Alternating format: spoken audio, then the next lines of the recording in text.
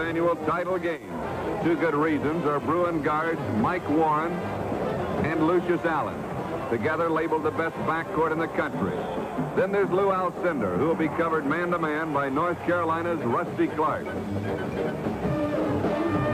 If Clark can halt Alcindor and Larry Miller can score often, the Tar Heels may be able to pull off the upset. UCLA controls the opening jump. And the Bruins are off and running.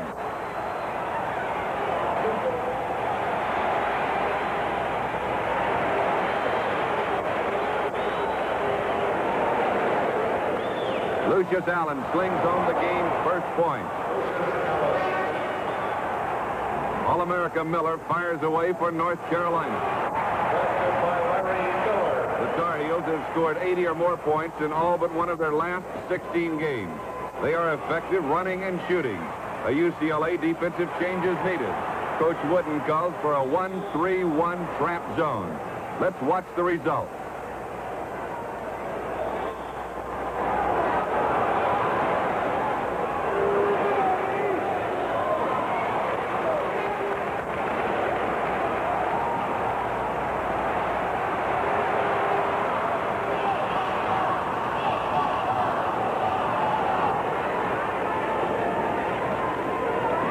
North Carolina can't or won't take the shot.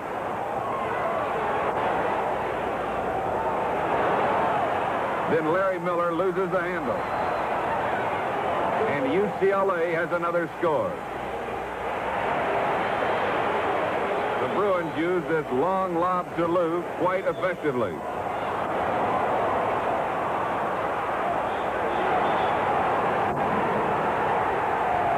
Is beginning to take control of the game.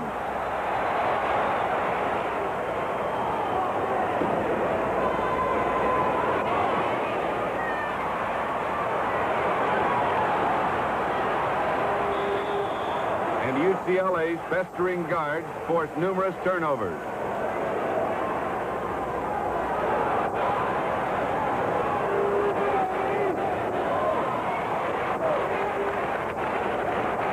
One cashed in by lefty Lynn Shackelford from the corner.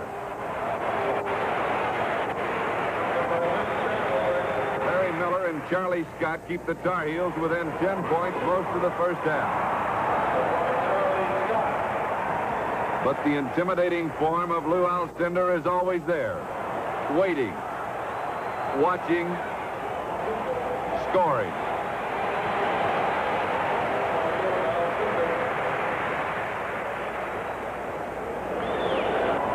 A steal by Allen. Leads to two by Shackelford. UCLA is on top 32-22 at the half.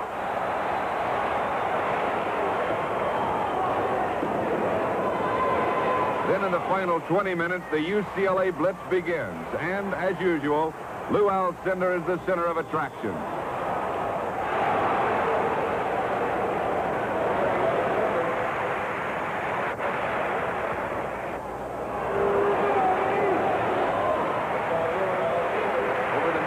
Four minutes, the Bruins outscore North Carolina 10 to 1. And the issue is decided. Allen's versatile scoring helps.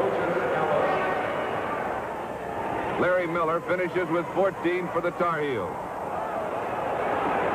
But any drive by Carolina is quickly halted by the Bruin defense. Disturbing, but that's what happens when you play Alcindor and company. Even the Bruins' sixth man, Ken Heitz, has that shooting eye.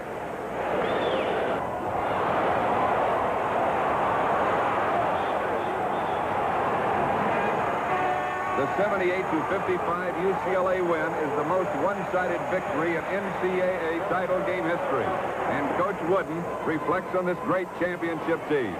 This is truly a great basketball team. Uh, I've been reluctant to say so earlier in the year, but I believe at our best we're the finest uh, basketball team that has ever played college basketball.